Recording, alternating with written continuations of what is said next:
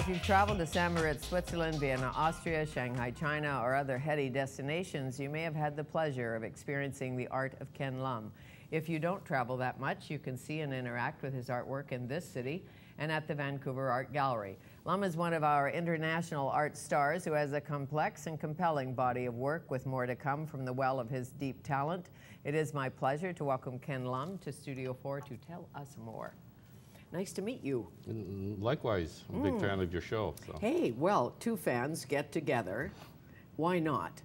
But what you do is so amazing because you're called a conceptual artist, which means what? Well, conceptual artist was an art movement, you might say, that, that started probably after, well, in the late, mid to late 60s. And it was um, a, a, a, an idea that the idea of art, right, the concept mm. of art came to the fore over and above any material embodiment for the art.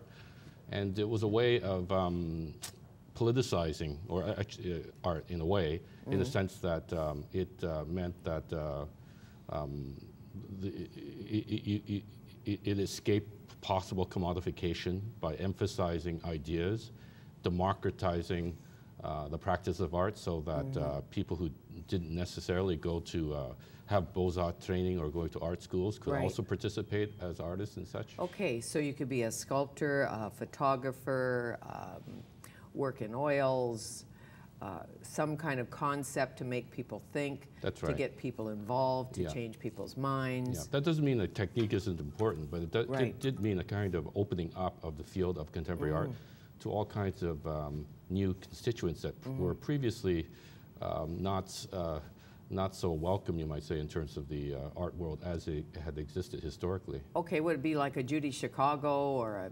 Ju Judy Chicago was a, a feminist artist who, uh, who's predicated on um, a lot of conceptual language, mm -hmm. absolutely. Okay. Uh, take me back to your roots, your beginnings in British Columbia, perhaps your grandfather. Right. He worked on the CPR? That's right. Well, he, he wasn't strictly a coolie, but he came at the age of uh, 15 uh, to uh, Vancouver, and uh, he worked, uh, was hired as a kind of laborer for the CPR. The train line had already been well completed by then, mm but they still needed laborers and sure. so on. So he worked there for a few years, and then he uh, worked on the construction of the um, second Hotel Vancouver, which has really? been demolished, mm -hmm. sadly and, um, and all kinds of various jobs. And then in 1930s, um, he was a, he was a cook um, at the uh, Only Seafood, which is also was? sadly gone. Sadly gone, yeah. and uh, the Only. I mean, how many pieces of white bread did I have there? Right. right. But it tasted very, very good there. Very, very good yeah. there, and uh, the soup and the, the yeah. clam chowder, yeah. all of that, and the characters. Yeah, and he was really. very proud of working there because um, it was a Greek owner at the time. I remember mm -hmm. him telling me stories that this Greek owner liked uh, hiring the um, you know Chinese men down there because it was very hard uh, finding jobs if you're a Chinese male at that time. And so he, he liked uh, venturing out beyond Chinatown, being able to have a job that interacted with mm -hmm. um, non-Chinese. Did he take pictures? Did he paint? Uh, any, any art in your DNA? Uh, nothing, I'm no. afraid. what about your dad? Uh, well, my dad was quite um, itinerant, and uh, he came over when he was about um, 17, and, uh, and, and he worked in various jobs, bowling pin setter, at a bowling alley in, mm. in Chinatown. Mm -hmm. um, uh, he worked as, at, as a waiter at the Smiling Buddha in the 1950s really? on Hastings Street. So um, just all kinds of jobs like that. Well, I see uh, in um, your signage, in the uh, shopkeeper's sign, it, was it a series? Mm, yes. You did. Um, I'm thinking that comes out of your background somehow. Well, I have some um, sign painting um, background because I, I live not far away from someone who's a sign painter and uh, used to hang out once in a while mm -hmm. in this basement. And He taught me how to do it by hand really? and, and, and, pen and paper and so on, which nobody uses anymore because computers have taken over. Mm -hmm. And so I was able to learn all kinds of things like that, and I would paint uh, little signs for various shops on Kingsway, near, not far from where I I grew up and there'd be like semi-annual sale and right. signs like that. Mm -hmm. Well, it's a lost art in a sense. Mm. I, my godfather, Kleber LaGrange, mm. How about a name like that? Uncle Kleber, we called him. he was a sign painter. Right. No, I, I was interested in sign paintings, uh, hand painted sign paintings, I should say, because Yeah. there was always this residual proximity to um, painting, high painting. And so, one of the things I'm interested in in terms of my own art is to play off this relationship between high art and, and low art, so to speak. And uh, I, I see that evidence in, in sign painting because there's a lot of decision making being made in, in terms of hand painted sign paintings as well. Sure. A Hanoi Hotel. Yes. Tell me about Hanoi Hotel. Well, that was from a series called the Shopkeeper series, and those were, didn't involve uh, uh, uh, hand painting. Right. But it's a, it was a work that was um, based on the small, uh, you know, lower middle class shops, and in which you have a permanent half uh, of a sign, and the bottom half would be uh, provisional lettering, right? Right. And uh, and I thought there could be a kind of um, insertion through the bottom half of a of a kind of revelation of the proprietor's feelings, his desires, and so on. And so it would. I saw those works largely as um, as uh, portraits, actually, even though you don't see a person Right. depicted. They're portraits in the sense that it the text at the bottom was not necessarily conforming to expectations of what you're supposed to do when you run a business, right? But it revealed something about the proprietor's background and Sure. and so on. We remember the People's War, Right. perhaps Vietnam. Of- I'm yes, thinking yes, Vietnam. Mm. Yes. In Vietnam, it was referred to as the People's Of War, right? But of course, there's an ambiguity there because we don't actually know which, you know, which side of the of, of the political spectrum uh, the Mm. Sure, but the War. juxtaposition, fun in the sun, Right. all of that. But Yeah. we remember the People's War. That's right. I Mm, interesting. I'm very interested in those types of contradictions because I think very often um, people tend to uh, like to mask those contradictions in their own lives, even because uh, public decorum and all kinds of exigencies of Mm-hmm. how you're supposed to present yourself in public. Well, you started out uh, as a scientist Hmm. or studying uh, science in university, pestology, That's right. which means Pestology was basically a branch of uh, fancy word for insecticide research, basically. Right. And I was uh, my curse was I was I was actually quite good at it, right? Because Your uh, curse. yes, I say curse because if I wasn't good at it, I probably would have quit earlier, right? But because I was good at it, I couldn't quite rec- reconcile in my own mind. Well, why don't I enjoy it and yet I'm good at it? right. And and your professors probably knew you were good at it and didn't want you to quit. That That's happens right. at a university That's level, right. as you know. That's right. Uh, right. you're really good at something, or at a musical level, doesn't matter. Right. You want to play the piano, you're playing the violin, and your violin teacher says, "Uh-uh, right. I'm- you're sticking with this instrument because you're good at it." That's right.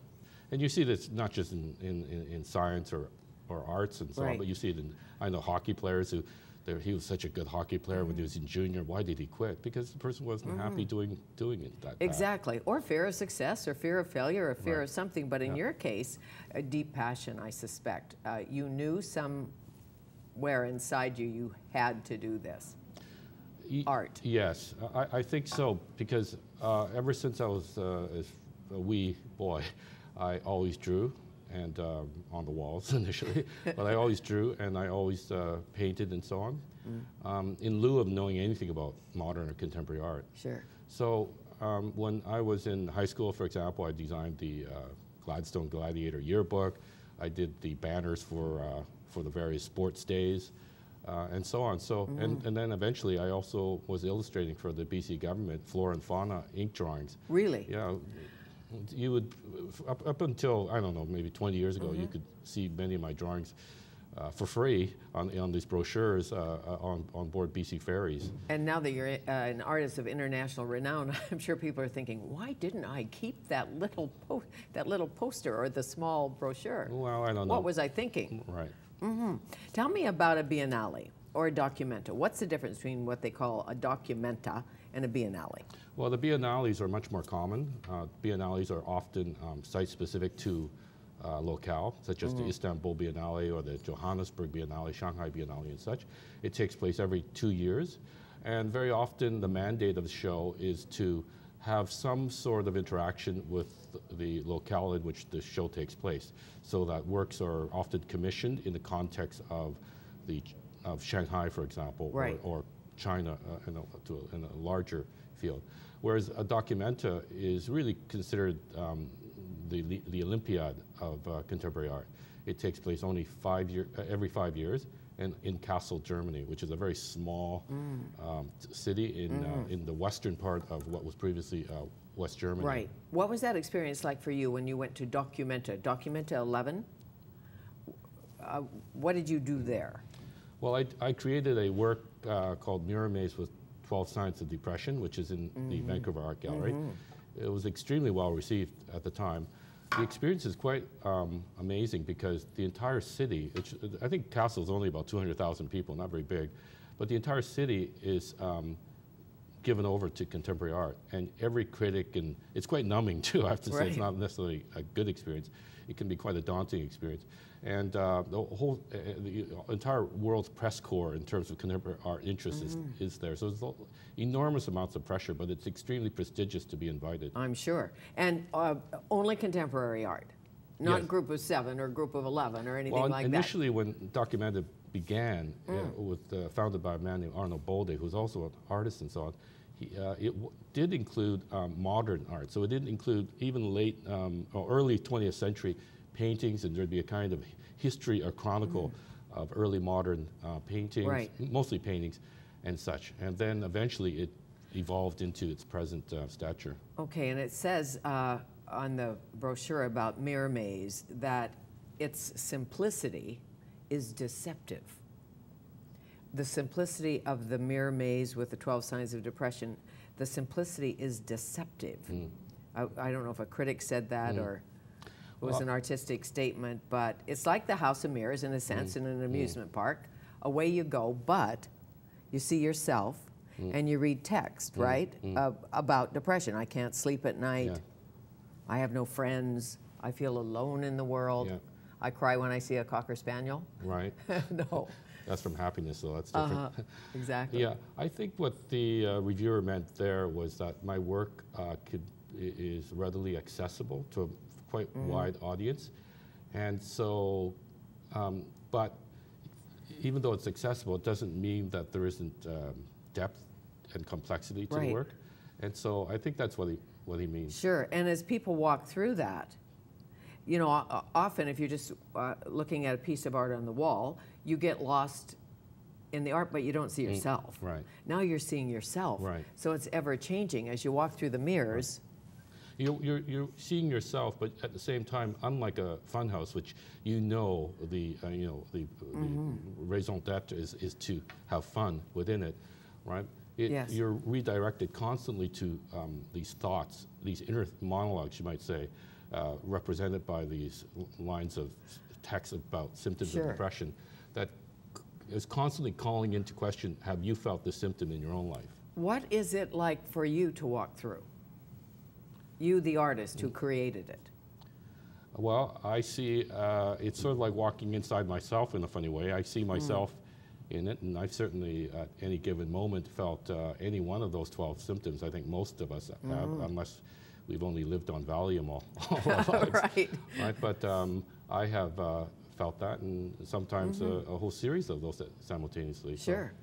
How amazing. I can't wait to experience this at the Vancouver Art Gallery. Ken Lum, our guest, will come back and talk about Monument for East Vancouver.